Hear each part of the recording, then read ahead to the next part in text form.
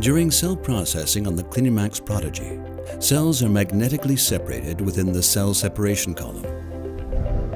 The column contains a matrix composed of super-paramagnetic spheres, amplifying the magnetic field of the magnet unit. Cells being labeled with CliniMACS reagent are retained in this magnetic field, while unlabeled cells pass through the column.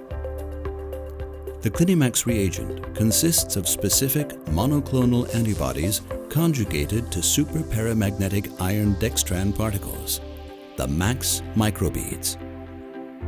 Cell integrity and characteristics are preserved, and the target cells are fully functional for downstream applications.